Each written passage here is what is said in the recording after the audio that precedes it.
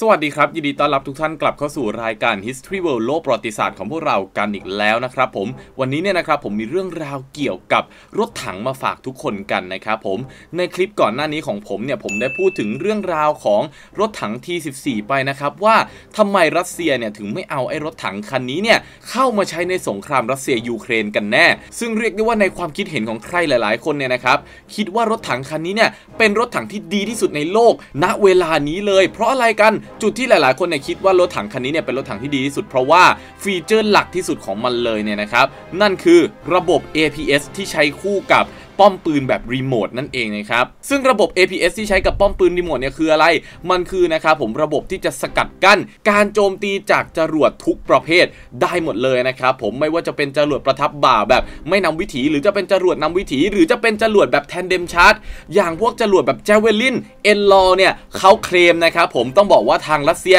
เคลมว่าสามารถป้องกันได้ร้อยเปอร์เซ็นต์หรือแม้กระทั่งนะครับผมกระสุนที่เป็นปืนใหญ่จากรถถังเนี่ย APS ของ T14 เนี่ยก็สามารถกันได้เช่นเดียวกัน คือเรียกได้ว่าการกระสุนการโจมตีได้ทั้งหมดเลยทีนี้คำถามก็คือนะครับวิธีในการจะจัดการกับรถถังพวกนี้ หรือรถถังคันอื่นๆ ที่มีระบบ APS อย่างระบบโทรฟี่หรือระบบอื่นๆ อะไรก็ตามเนี่ยทำยังไงล่ะถึงจะจัดการได้ถ้าเกิดโจมตีแล้วมันสกัดกั้นได้หมดเนี่ย เดี๋ยววันนี้เนี่ยนะครับผมผมเนี่ยจะมาหาคำตอบไปพร้อม ๆ กับทุกคนเลย ถ้าพร้อมกันแล้วเนี่ยก็ไปเริ่มรับฟังกันได้เลยครับ เรียกได้ว่านะครับผมระบบ APS หรือระบบ Active Protection System ของรถถัง T14 เนี่ยนะครับผมมันจะมีความทันสมัยมากกว่าระบบ APS ของรถถังทางฝั่งตะวันตกหลาย ๆ ชนิดเลย เพราะอะไรกันนะครับ เพราะจริง ๆ แล้วระบบ APS ของทางฝั่งตะวันตกเนี่ยส่วนมากนะครับผมหลาย ๆ ระบบเนี่ยจะไม่ป้องกันการโจมตีจากด้านบนนะครับ มันจะป้องกันประมาณนะครับผม 180 องศาของทางป้อมปืนหัน แสดงว่านะครับถ้าเกิดถูกโจมตีจากด้านบนหรือจากด้านหลังเนี่ย ระบบแบบนี้นะครับผมในรถถังของฝั่งตะวันตกเนี่ยอาจจะป้องกันไม่ได้ร้อยเปอร์เซ็นต์ แต่รถถัง T14 ของรัสเซียเนี่ยนะครับผมที่ทางมอสโกเนี่ยเคลมว่าสามารถป้องกันได้ 360 องศาเนี่ยมันเป็นเพราะว่านะครับรถถัง T14 เนี่ยมีการติดตั้งนะครับผมหัวรบสกัดกั้นเนี่ยด้านบนด้วยนะครับผมให้มันหันขึ้นข้างบน ไว้โจมตี และสกัดกั้นจรวดนำวิถีที่โจมตีจาก top attack อย่างพวก Javelin นอกจากนี้เนี่ยนะครับผมมันยังมีระบบปล่อยผงความร้อนนะครับผมที่จะรบกวนระบบนำวิถีของพวกจรวดประเภทนี้ด้วยอ่าด้านบนแล้วด้านหน้าด้านข้างแล้ว ทีนี้ด้านหลังล่ะ การป้องกันจากด้านหลังของมันเนี่ยนะครับผมก็เรียกว่าเป็นระบบที่เจ๋งมากๆเลยมันเนี่ยนะครับจะใช้ระบบเซ็นเซอร์ควบคู่กับป้อมปืนแบบอัตโนมัติที่มันจะหมุนไปได้เอง คือเรียกได้ว่านะครับผมถ้าเกิดมีการล็อกเป้าหมายแล้วโจมตีมาจากด้านหลังเนี่ย ระบบเซ็นเซอร์จะรับรู้ว่ามีจรวดเนี่ยพุ่งมาจากด้านหลังนะ ป้อมปืนเนี่ยนะครับผมจะทำการหมุนเอง 180 องศาเลยเพื่อไปยิงสกัดกั้นเจ้าจรวดอันนั้น หรือหัวรบอันนั้นนะครับผมจากด้านหลัง ซึ่งนี่แหละครับผมที่มันเป็นจุดที่มันแตกต่างกับรถถังของทางฝั่งตะวันตก รถถังของทางฝั่งตะวันตกเนี่ยด้วยความที่มันเนี่ยนะครับผมถูกควบคุมโดยคนถูกไหมป้อมปืนเนี่ยจะหันตามการบังคับของพลปืน เพราะฉะนั้นนะครับผมถ้ารถถังคันไหนเนี่ยระบบ APS เนี่ยไม่ได้ครอบคลุมถึงด้านหลังนะครับเรียกได้ว่าไม่สามารถที่จะสกัดกั้นการโจมตีจากด้านหลังได้เลยทำให้ T14 เนี่ยมองรวมๆแล้วเนี่ยนะครับผมมันเนี่ยสามารถป้องกันได้ รอบคลุมกว่ารถถังของทางฝั่งตะวันตกหลาย ๆ คันหลาย ๆ รุ่นนะครับไม่ได้บอกว่าทั้งหมดนะ จริง ๆ ของสหรัฐอเมริกาเนี่ยมันก็อาจจะมีระบบที่สามารถป้องกันได้ดีกว่า แต่ว่าถ้าพูดกันถึงราคา พูดกันถึงนะครับผมต้นทุนการผลิตเนี่ยแน่นอนว่ารถถังของอเมริกาเนี่ยถ้าจะเอาเทคโนโลยีระดับเดียวกันเนี่ยนะครับผมยังไงก็แพงกว่ารถถังที่14 อยู่แล้ว นี่จึงเป็นเหตุผลว่าทำไมนะครับหลาย ๆ คนเนี่ยคิดว่ารถถังที่14เนี่ยถึงเป็นรถถังที่ดีที่สุดในโลกตอนนี้ เพราะอย่างน้อยเนี่ยนะครับผมถ้าเกิดถูกโจมตีเนี่ยมันสามารถกันได้จากทุกด้านนั่นเอง นี่ยังไม่ได้รวมนะครับผมความเจ๋งอื่นๆนะไม่ได้รวมว่ามันสามารถยิง missile ออกจากทางป้อมปืนใหญ่ได้ มันสามารถมีระบบคอมพิวเตอร์ navigation link อะไรต่างๆ นานาได้อย่างทันสมัยระบบล็อกเป้าหมายระบบต่างๆ โอ้ย คือเรียกได้ว่ามันเทพเลยนะครับ เรียกได้ว่ามันเจ๋งมาก ๆ จริง ๆ ก็นี่แหละจึงเป็นเหตุผลว่าทำไมเนี่ยนะครับผมมันถึงมีจำนวนที่น้อยมากๆเลย ในกองทัพรัสเซียนะครับผมเพราะมันเจ๋งแบบนี้แหละ ทีนี้ก็มาถึงคำถามนะครับผมว่าถ้ามันเจ๋งแบบนี้เนี่ยแล้ววิธีจัดการมันล่ะจะทำยังไงกันล่ะครับลองจินตนาการว่าคุณเนี่ยนะครับผมเป็นทหารราบที่มีบทบาทเป็น พพลต่อสู้รถถังนะครับ โดยที่คุณเนี่ยสามารถใช้อาวุธได้ทุกแบบเลยอะไรก็ได้เลยนะครับที่ต้องการจรวดประทับบ่าได้ทุกชนิด ถ้าเป็นคุณเนี่ยจะเลือกใช้อะไรนะครับผมและจะจัดการมันยังไง ผมอยากให้ทุกคนเนี่ยลองคอมเมนต์บอกไอเดียของตัวเองกันมาได้เลยนะครับว่าเอ๊ะเราจะจัดการกับรถถังที่สามารถสกัดกั้นการโจมตีของจรวดนำวิถีทุกประเภทได้ยังไงกันบ้าง คอมเมนต์กันมาเลยนะครับผมถ้าคอมเมนต์กันเสร็จแล้วเนี่ยเดี๋ยวผมจะ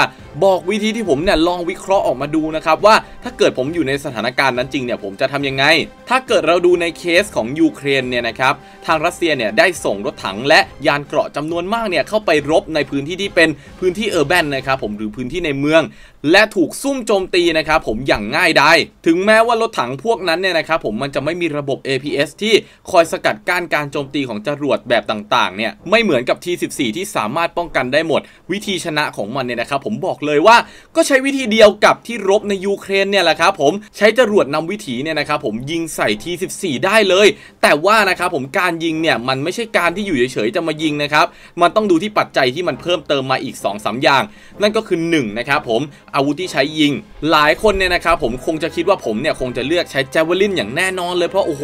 มันเป็นอาวุธระบบ 2 จังหวะถูกไหมมันสามารถเจาะรถถัง T14 ได้อย่างง่ายดายถ้าเกิดเอาชนะระบบ APS ได้ แต่ผมเนี่ยไม่เลือกใช้แจวลินเพราะอะไรนะครับ ถ้าเกิดมาดูกันเนี่ยว่าประสิทธิภาพของแจวลินเนี่ยเวลายิงเนี่ยนะครับผมมันสามารถยิงได้ 2 แบบถูกไหมนั่นก็คือ แบบแนวราบและแบบ top attack คือการยิงขึ้นฟ้าแล้วมันจะตกลงมาโดนรถถังถูกไหมครับ การโจมตีด้วย Javelin เนี่ยนะครับผมมันต้องมีระยะขั้นต่ำเนี่ยถ้าเกิดเป็นแบบแนวราบเนี่ยอยู่ที่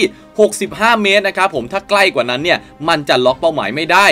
และถ้าเกิดเป็นการโจมตีแบบ top attack เนี่ยจะอยู่ที่ 150 เมตรถ้าเกิดมันระยะไกลขนาดนั้นเนี่ยนะครับผมแล้วเราทำการโจมตีมาเนี่ยระบบ APS ของรถถัง T14 เนี่ยจะตรวจจับการโจมตีเราได้ เพราะมันไกลเกิน และมันก็จะสามารถสกัดกั้นจรวดแจเวลินที่พุ่งโจมตีมันเข้ามาได้นั่นเองนะครับ หรือถ้าเกิดยิงเป็นแบบแนวราบละอะถ้าเกิดยิงเป็นแบบแนวราบเนี่ยอยู่ห่าง 65 เมตร ก็อาจจะไม่ได้ดูไกลขนาดนั้นซึ่งถ้าเกิดยิงแบบแนวราบ 65 เมตรล่ะ 65 เมตรเนี่ย ผมก็เชื่อว่าระบบ APS เนี่ย มันน่าจะตรวจจับทัน และก็สกัดกั้นได้ทันนะครับ แล้วทีนี้ผมจะเลือกใช้อาวุธอะไรล่ะครับ ถ้าจาวิลินไม่ใช้เนี่ย ผมจะเลือกใช้เป็น N Law นะครับ นั่นก็คือ Next Generation Light Anti Tank มันเป็นจรวดแบบใช้แล้วทิ้งนะครับ ผมยิงครั้งเดียว จุดที่มันจะแตกต่างจาก เจเวลินเนี่ยนะครับนั่นก็คือ 1 ระยะของมันเนี่ยนะครับผมระยะขั้นต่ำของมันเนี่ยไม่ต้องอยู่ไกลถึง 65 เมตร มันสามารถยิงได้ในระยะเพียง 20 เมตร เท่านั้น คือสามารถอยู่ใกล้มากๆ แล้วก็ยิงมันได้เลยถึงแม้ว่าการโจมตีของมันเนี่ยความรุนแรงจะไม่เท่าเจเวลิน